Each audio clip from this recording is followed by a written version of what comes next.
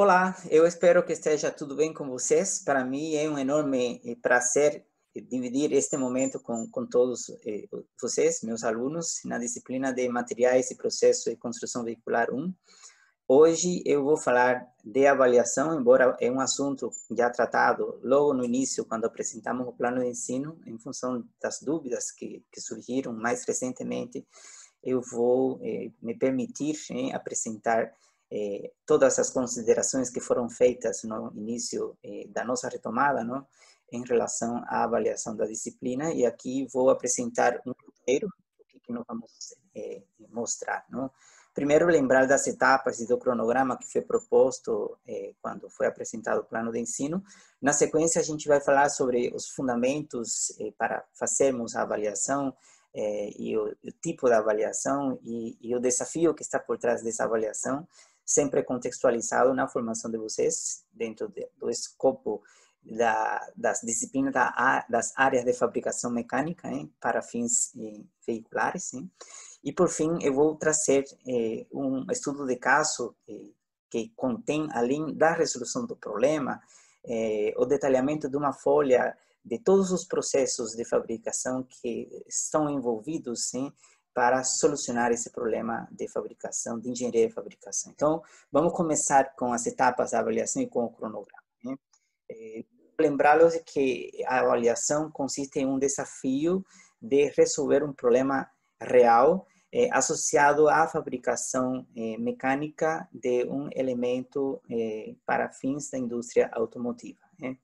É, a primeira etapa, então, consiste na definição do problema. Você aqui, neste caso, vai definir qual dos elementos que podemos fabricar no amplo espectro de eh, aplicações para a indústria automotiva, qual elemento nós vamos acolher como sendo o nosso problema de trabalho.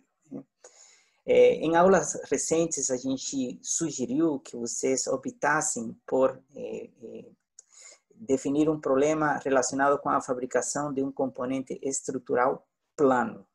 Pode ser uma coluna, pode ser uma travessa de teto, pode ser o painel externo ou interno de uma porta, pode ser o assoalho, pode ser qualquer que seja o elemento estrutural fabricado a partir de produtos planos finos, isto é, chapas finas de alta resistência. Né? Então, na minha visão, eh, o problema está definido, né? vocês vão desenvolver a tecnologia de fabricação de um desses elementos planos. Fica a critério de vocês qual dos elementos vocês vão escolher, ok? Professor, posso escolher o mesmo elemento que outro time está desenvolvendo? Não tem problemas, porque eu considero que cada equipe tem pode ter ideias diferentes, hein? cada equipe vai trazer soluções diferentes. Eu estimulo isso. Não? É, nessa primeira entrega, não, vocês, além de definir o problema, vocês vão fazer naturalmente uma pesquisa bibliográfica, vocês vão é, entender a literatura que trata sobre a resolução deste tipo de problema. Eu já, inclusive, disponibilizei no meu plano de ensino eh, algumas fontes, links de algumas fontes disponíveis online para que vocês possam eh, interagir com elas e vocês possam eh, ter acesso ao conteúdo eh, mais atualizado relacionado com a fabricação destes elementos que vocês vão optar. Né? É, então, nesse primeiro momento, além de definir o problema, é você embasar o problema, entendeu? É você conhecer é, as soluções que já vêm sendo promovidas né, é, para poder definir a fabricação desses elementos. Então, é uma, diria assim, uma parte introdutória, teórica, de um trabalho de engenharia. Não?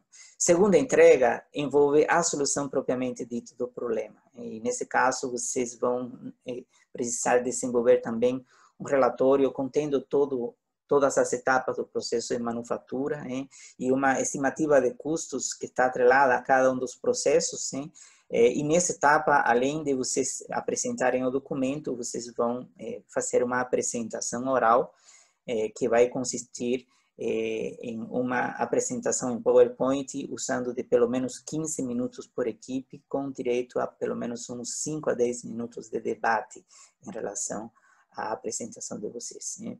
Então, essa é a concepção, essa é a filosofia do trabalho que está sendo sugerido para avaliar a disciplina de materiais e processos de construção veicular 1 cronograma. O cronograma que foi apresentado, a gente pode rever ele naturalmente em função da dinâmica dos nossos processos. Hein?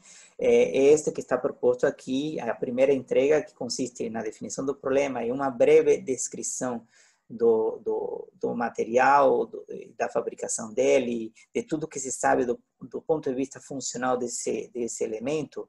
Todo esse relato vocês me entregam no dia 3 de novembro. Né?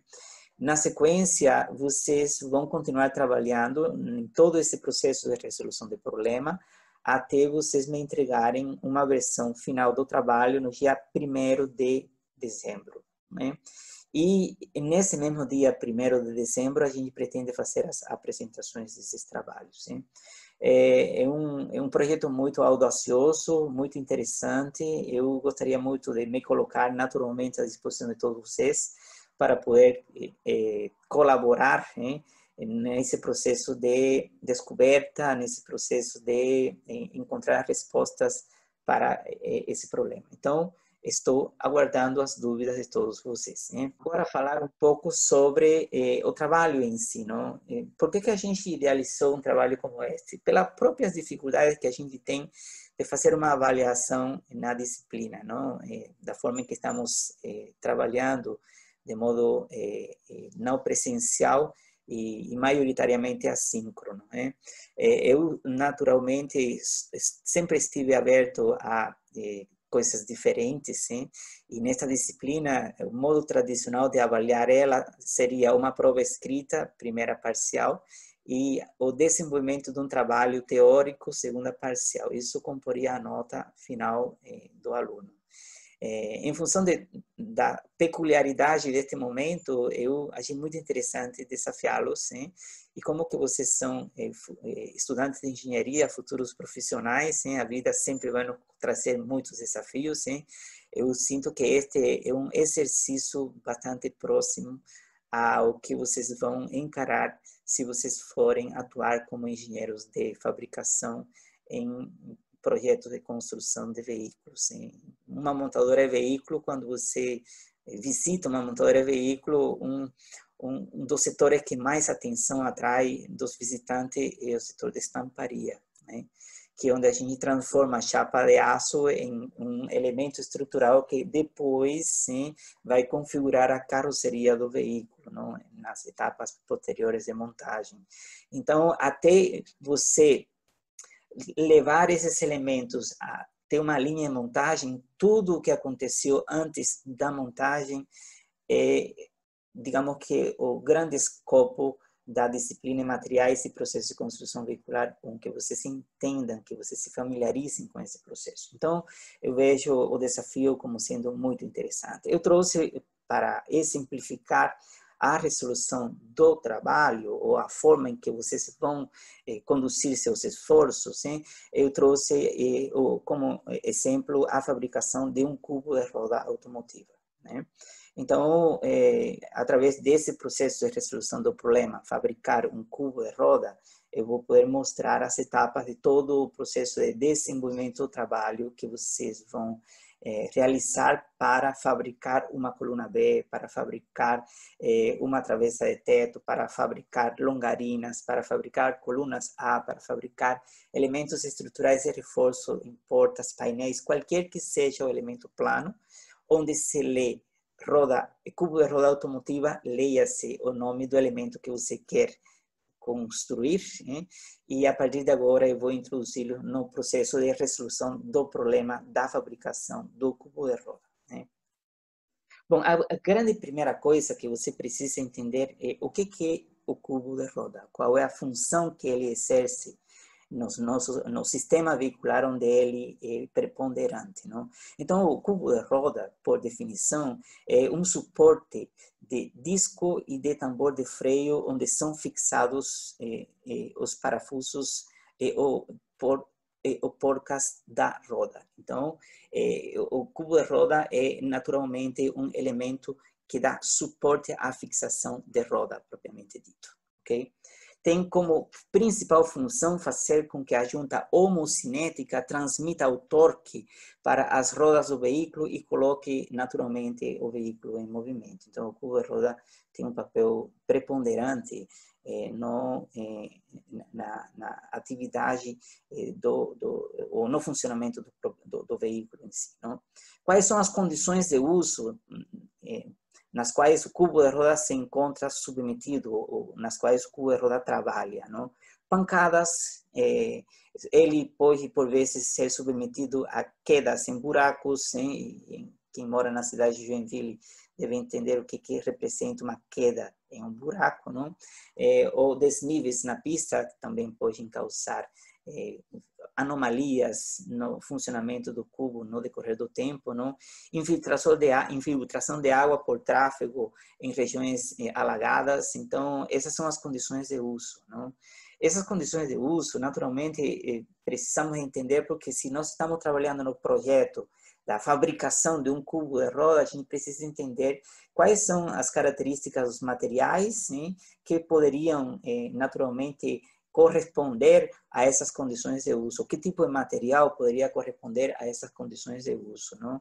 É, e a partir que que você entende as condições de uso, que você é, é, percebe as peculiaridades do projeto do produto cubo de roda vem à tona a necessidade de você identificar um material que corresponda a essas condições de uso e que garanta também é, a manufaturabilidade desse componente. Não?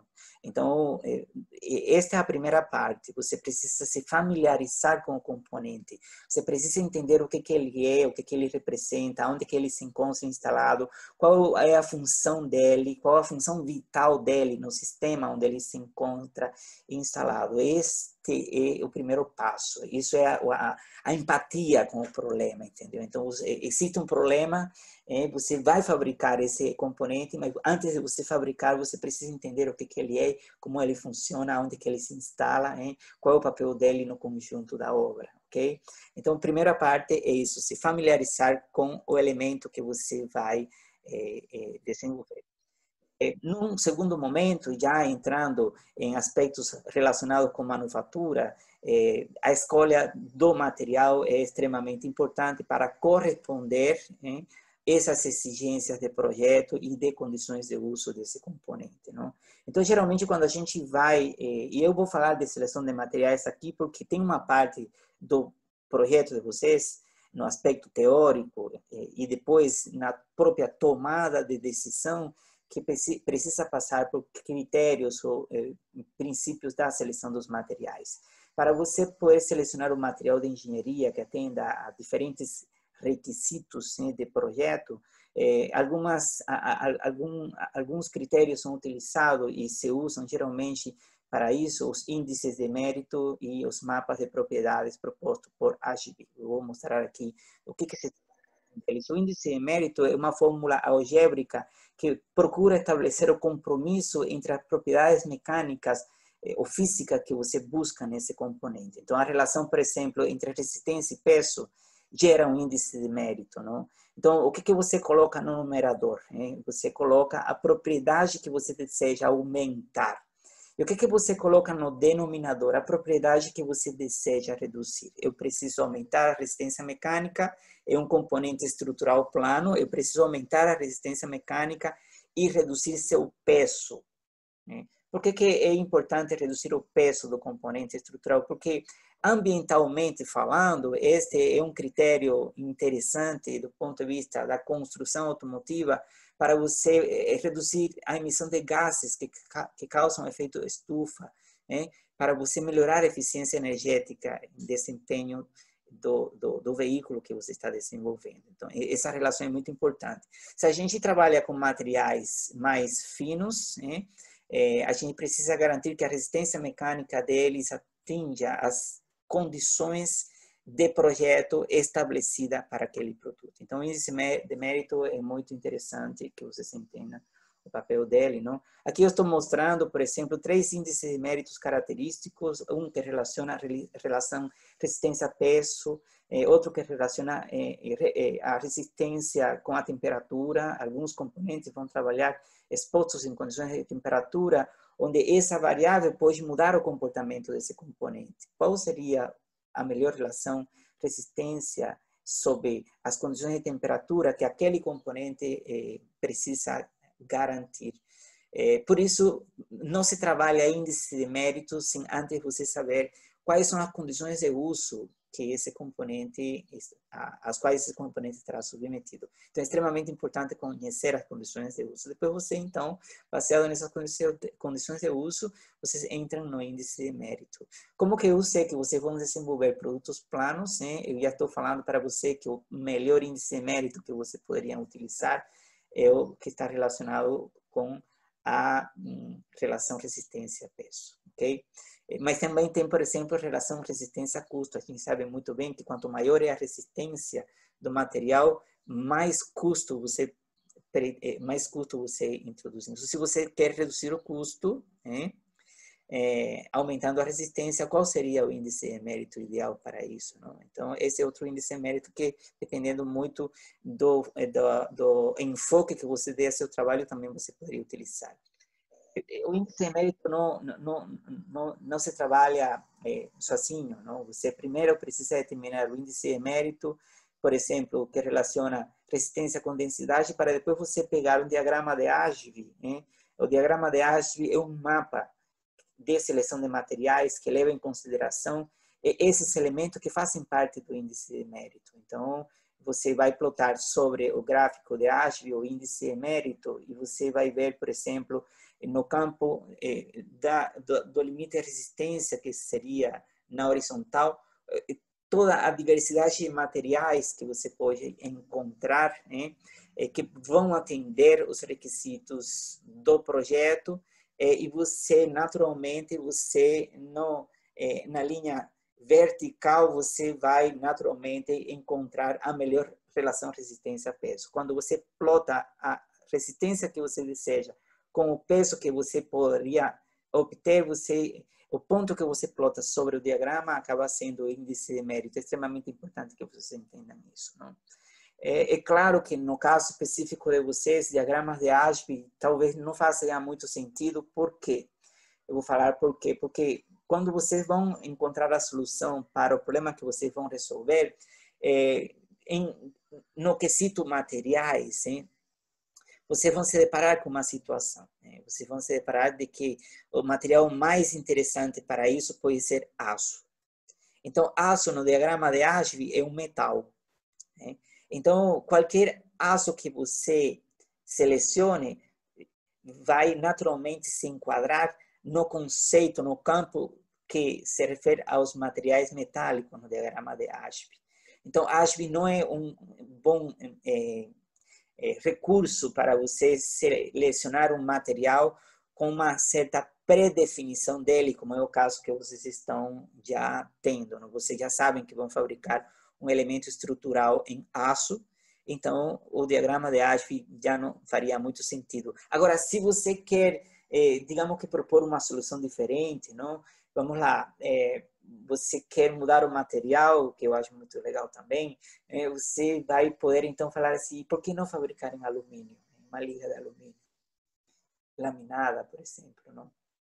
Putz, aí sim, já o ASB pode ser interessante, porque no campo dos materiais metálicos, o ASB ele distingue o que, que é ferroso e o que, que é não ferroso. E aí, nesse caso, o ASB ele pode te dar algumas é, algum, algumas dicas bem, bem bacanas, ok? Então, fica aí a dica, né? se você for mudar de, de classe de material, né? pensando em mudar o aço pelo alumínio, então acho que poderia ser um recurso interessante. Eu, naturalmente, sugeri que vocês pensassem no aço por quê? Porque o escopo da disciplina Materiais e Processos de Construção Veicular 1 é desenvolver conhecimento, expertise em materiais não ferrosos, perdão, ferrosos, ok? É, na disciplina Materiais e Processos de Construção Veicular 3, a gente foca em materiais não ferrosos. Então, vamos deixar qualquer que seja a aplicação que a gente possa desenvolver substituindo o aço para fins automotivos, vamos deixar essas aplicações para quando nos toque trabalhar a disciplina de materiais e processos de construção veicular 3, ok? É, então, que nesse caso, se for assim, não teria muito sentido. Eu, como que estou apresentando um raciocínio lógico para que vocês estruturem todo o intelecto que precisam desenvolver para solucionar o problema, eu estou mostrando aqui todas as estratégias que podem ser utilizadas. Como que havia mostrado outros índices de mérito, neste caso, eh, relacionado com a temperatura, este é o diagrama de Ashby para eh, o índice de mérito eh, limite de resistência à temperatura. Funciona do mesmo jeito. Na horizontal, você projeta a linha que está relacionada com os limites de resistência que o projeto precisa garantir para poder eh, atribuir a esse componente todos os atributos sim, de comportamento mecânico em uso que ele vai precisar ter ao longo do tempo de vida para o qual ele foi projetado. Não? Então, na horizontal, você vai encontrar toda a gama de materiais possíveis que entregam esse limite de resistência mecânica. E em linhas verticais, você vai naturalmente ver quais são os limites de temperatura, que seriam possíveis serem admitidos por esse material para garantir essa resistência mecânica. É um diagrama muito interessante porque é um diagrama onde a gente consegue, digamos, mapear a termofluência do material. Né? Então, é, é muito legal quando você, por exemplo, vai trabalhar em desenvolver soluções para elementos que vão trabalhar em alta temperatura. Putz, é, eu acho que é uma coisa assim, fantástica para isso. Muito, muito, muito interessante. Ok? E nós temos aqui também o diagrama de Ashby que relaciona resistência, resistência custo, né? É, é, em volume de produção, não? É, esse, esse é um diagrama muito genérico porque quando a gente analisa a variável custo, você precisa entender de que é um, o custo é uma, é uma variável é, que a gente precisa levar em consideração naturalmente para eh, justificar qualquer solução de engenharia que você queira eh, eh, queira apresentar, né? É, mas o custo ele, ele é temporal, ele varia em função das condições do mercado, não? quanto de imposto você paga, quanto, quantos tributos, sim? que carga tributária se é, é, apresenta a fabricação, por exemplo, de aços aqui no Brasil. Né? É, então, é, como que é uma variável que, que, que responde ao mercado, né? É, custo, é, o diagrama de Ashby não é um, não é um diagrama muito preciso, entendeu? Ele, de uma forma filosófica, vai te mostrar o que, que se considera mais caro, produzir alumínio ou produzir aço, de maneira filosófica. Mas de maneira precisa, né? de maneira precisa, você tem que ter uma tabela do valor que hoje o mercado pratica para esses elementos.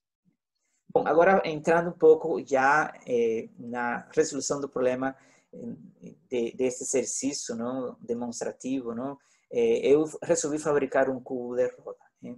E para fabricar um cubo de roda, existem vários materiais. Né? Eu vou aqui apenas apresentar dois materiais amplamente utilizados. Modesto, como que você sabe que esses materiais são amplamente utilizados?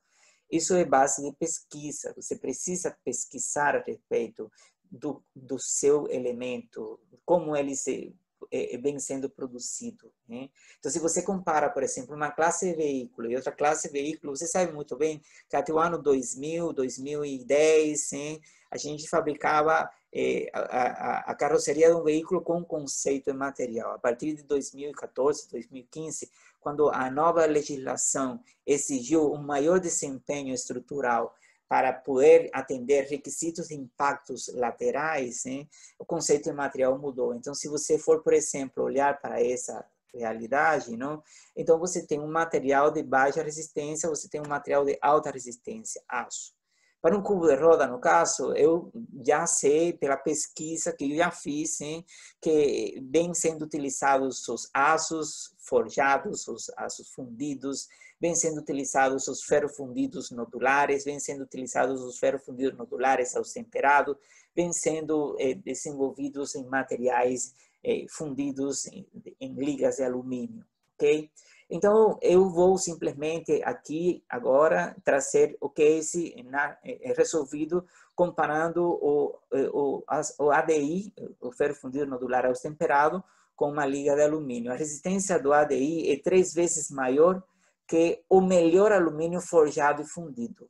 Né? Então, em termos de resistência mecânica, o ADI supera três vezes mais qualquer que seja o melhor alumínio que você encontra no mercado. ok? O peso do ADI é apenas 2,4 vezes mais que o do alumínio e 2,3 vezes mais duro. É, onde que o é, é ADI perde um pouco vantagem em relação ao alumínio, perde em, em relação ao seu peso. Ele é dois, quatro vezes mais pesado do que o alumínio. Em contrapartida, você vê que ele é muito mais resistente, ele é muito mais duro. Então, do ponto de vista estrutural, do ponto de vista mecânico, eh, o ADI ele se mostra um elemento, um, um material muito interessante para eh, para a solução desse problema, não? Mas ainda eu não tenho critério suficiente para decidir se vai ser o ADI ou se vai ser o alumínio, por exemplo, não?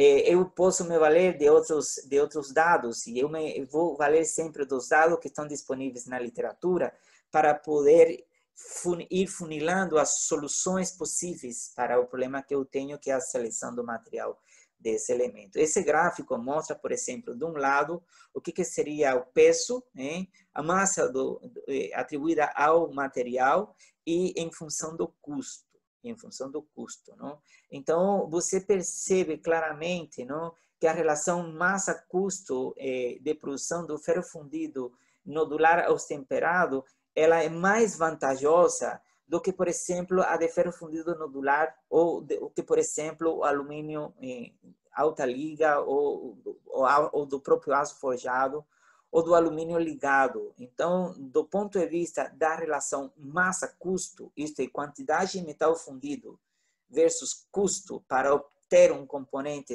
eh, um componente mecânico como este que eu estou aqui apresentando, o ferro fundido nodular se torna mais vantajoso do que qualquer outro tipo de material. Né? Então, veja, eu já sei que tem maior resistência mecânica, eu já sei que ele confere dureza, resistência global ao elemento. Não? Eu, eu sei que ele perde um pouco em relação ao peso, mas ele é mais vantajoso do ponto de vista financeiro da sua produção. Não? Então, é, nesse sentido, é, o ferro fundido nodular ou temperado, ele acaba se mostrando muito interessante, muito, muito, muito interessante. 10% menos, mais denso do, é, do que o aço, o ADI. Não? Esse gráfico mostra unidade de peso versus unidade de resistência ao escoamento. Do ponto de vista mecânico, ele é muito interessante também. Um típico componente, o ADI custa 20% menos por peso que o aço e metade do que o alumínio. Esse gráfico está mostrando isso e, portanto, eu recomendo é, para o desenvolvimento de cubos de roda automotiva a utilização do ferro fundido nodular aos temperado. Baseado no que? baseado em todos esses dados, baseado no que em todos esses critérios, baseado no que em todos esses índices de mérito que a gente está aqui eh, representando. Já sei que vai ser ferro fundido, então eu quero entender um pouco mais sobre o material. Então aí vem agora a outra parte do trabalho, entender mais a fundo o material. Por que, que é importante entender mais a fundo o material? Porque é o seguinte, vocês vão processar esse material é, pode acontecer que, em função da complexidade de processar determinado material, você desista utilizar ele para aquela solução e passe a usar este outro. Isto também faz parte dos critérios da seleção do material. Como que eu sei que processos de fundição são processos bastante versáteis para atender diversos formatos, tamanhos hein, de produtos, hein, é, eu sei perfeitamente que o processo de fundição ele é viável. Né? Então, por isso que a gente defende a ideia do ferrofundido no lugar aos. Conhecendo um pouco mais a respeito do material ferrofundido, não, é, o que, que você poderia saber? Importante saber da composição química dele, não? a composição química dele atribui ao material resistência mecânica. Eu lembro a você que existe um mecanismo de endurecimento, que é o endurecimento por solução sólida, que é através desse mecanismo que a gente se permite aumentar a resistência mecânica, não? preenchendo lacunas hein? com átomos substitucionais dos elementos de liga, que neste caso são silício, que neste caso são manganês, hein? em composições químicas, na composição química mais específica, o ferro fundido nodular aos temperado, vocês vão ver outros elementos importantes. Mas esta é a composição típica dos ferrofundidos, os tipos de ferrofundidos, nós vemos esses ferrofundidos brancos, os maleáveis, os cinzentos, os nodulares. Né? É, agora nós vamos falar de um outro é, é, elemento que é muito importante quando se fala de ferro fundido, que é o tipo de grafita. Não? A gente fala de ferro fundido nodular porque porque que esse nodular se acrescenta ao nome do material ferro fundido? Porque esse nodular se refere ao formato da grafita e em função do formato da grafita é, a resistência mecânica desse ferro, é, desse material, indo do é, material com menos resistência mecânica, mais susceptível à ruptura frágil, o ferro fundido com grafita lamelar, e vai passando pelos ferro fundidos vermiculares sim, até chegar ao ferro fundido nodular regular, que é dos ferros fundidos o que mais resistência mecânica tem atrelada ao formato da grafita essa teoria porque, cara, porque você precisa entender o material. Então, no seu trabalho, você precisa ter, além de um domínio do seu componente, da especificação de uso dele, das características geométricas dele, é, dos materiais que podem ser utilizados nele, você precisa conhecer mais detalhes sobre a física do material que você vai utilizar e do processo, claro, de fabricação que você vai empregar. No caso de vocês, vocês vão usar estampagem. Né? Neste caso que eu estou apresentando, eu vou usar fundição. Eu não trouxe um case de estampagem porque não tem graça. Né? Eu quero que vocês desenvolvam esse case. Então, vocês me permitam apresentar o case nesse formato de produto fundido. Vocês vão fazer um produto estampado, eu aqui estou mostrando o produto fundido. O que, que eu estou apresentando neste caso aqui? Mais detalhes sobre a composição química do ferro fundido nodular. Aquela composição química que eu mostrei anteriormente é uma composição química geral para o que se entende por ferro fundido cinzento. Aqui eu estou mostrando né, o que se entende por composição química característica para ferros fundidos nodulares. Né? E, e, aí eu vejo, por exemplo, o carbono entre 3,4 e 3,8, silício pode chegar a ter até 3%, já vi composição química em silício, em ferrofundidos nodulares, 3%. Né? Vocês vão ver, por exemplo, o cobre, que oscila desde 0,02% até 0,8%.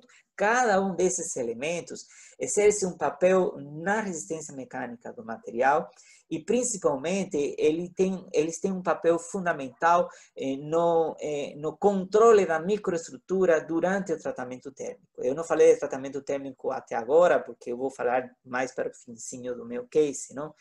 Para que vocês entendam isso.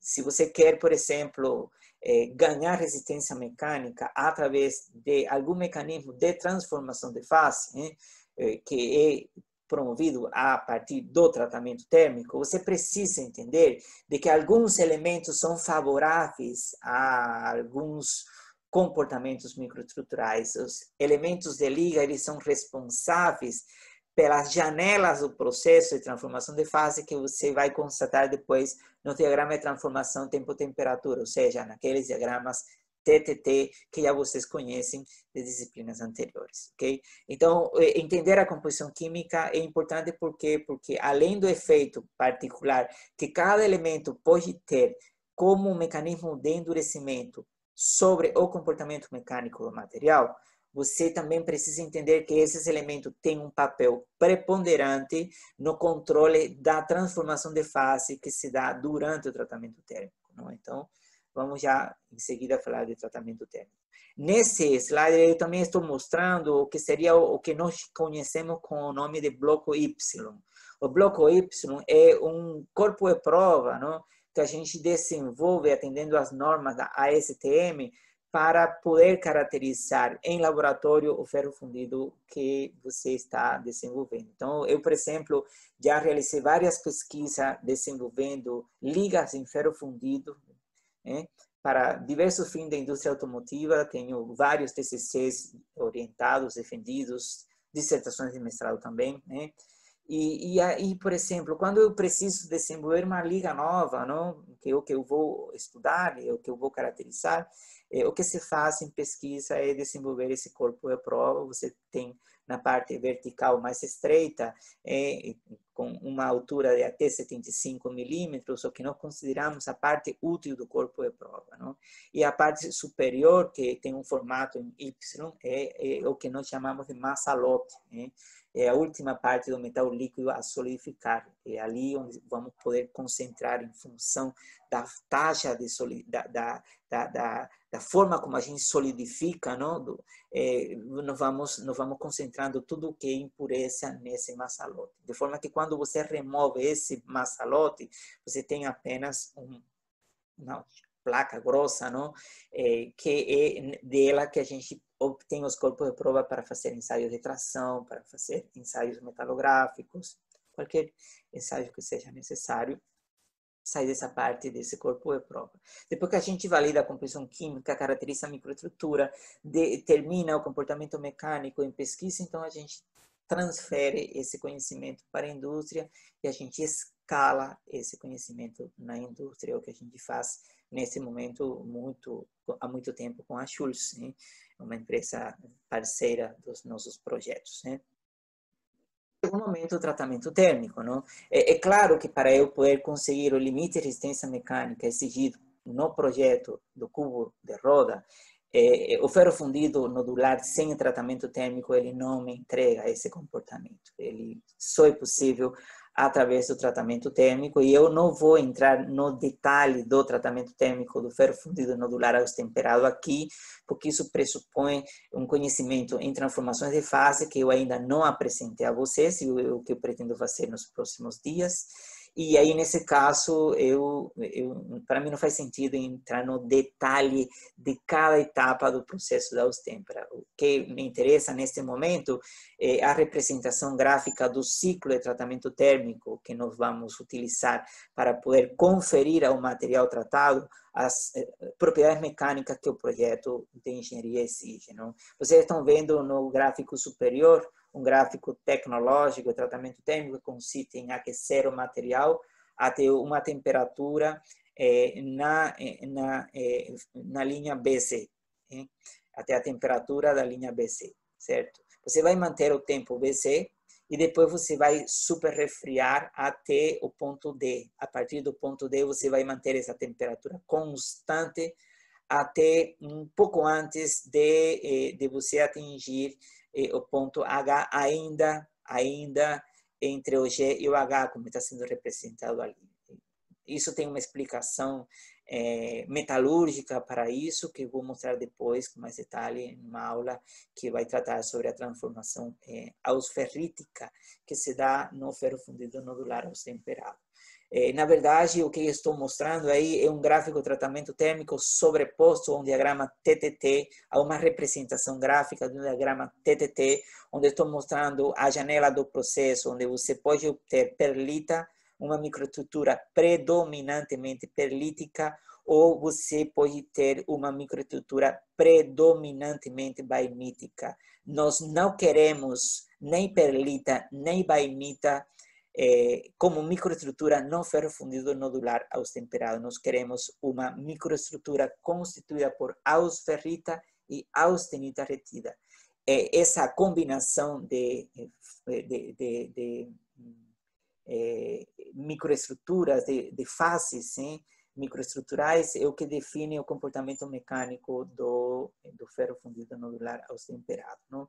Então, me permitam apresentar com mais detalhes esse gráfico e já mais detalhes entrando na peculiaridade da transformação de fase nos próximos encontros. Não? Então, entrando já no finalzinho deste momento, não? eu vou mostrar aqui qual é o processo no finalzinho deste momento, vou, vou apresentar uma folha de processo. a folha de processo, na verdade, é um documento técnico de engenharia onde você vai compilar todas as informações que se julgam necessárias para que você possa fabricar o componente. Em uma folha de processo estão, digamos que, relacionados todas as operações ou etapas que fazem parte do processo de fabricação de um componente de engenharia. Nesse caso, estou representando aqui a folha do processo de fabricação de um cubo de roda.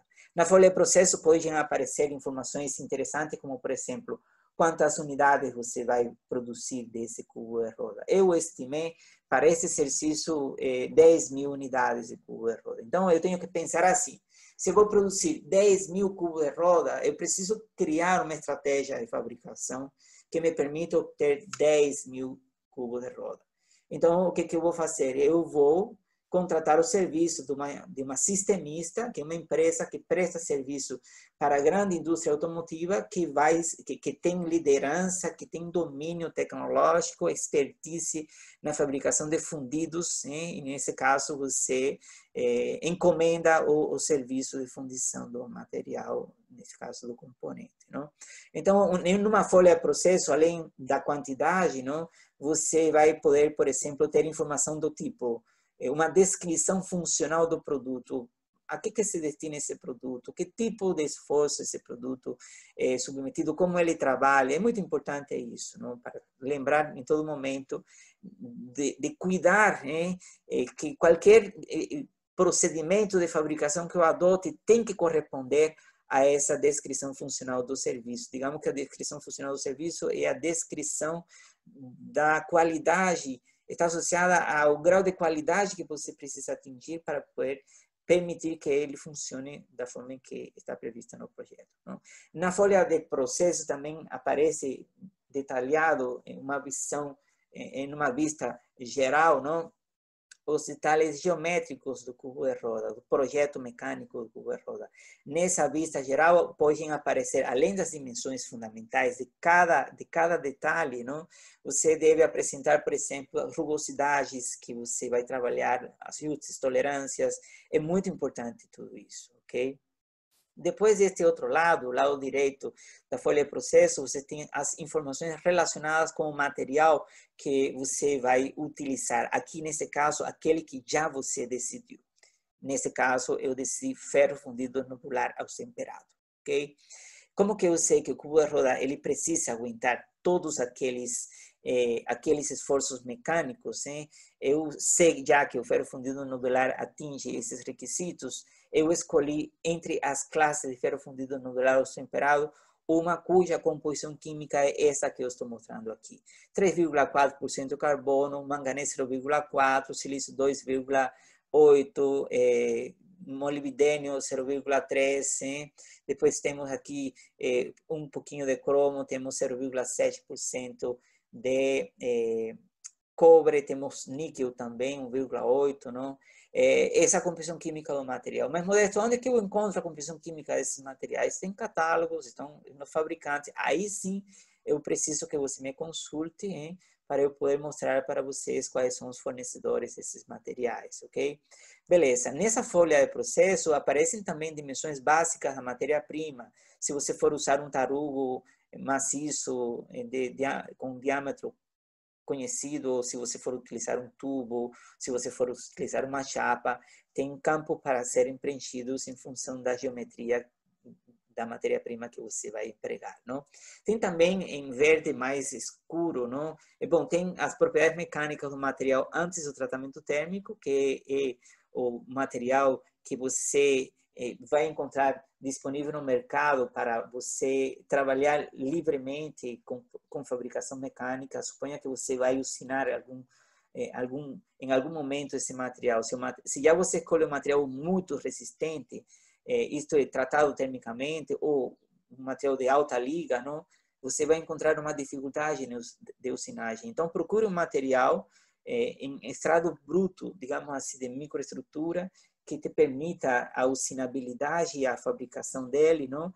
E depois você faz o melhoramento, o beneficiamento dele, usando o tratamento térmico para atingir o comportamento mecânico que o projeto exige. Não? E nesse caso, estou mostrando as propriedades mecânicas do ferro fundido nodular é, sem a austempera, né, limite de resistência máxima 590, é, escoamento 390, não?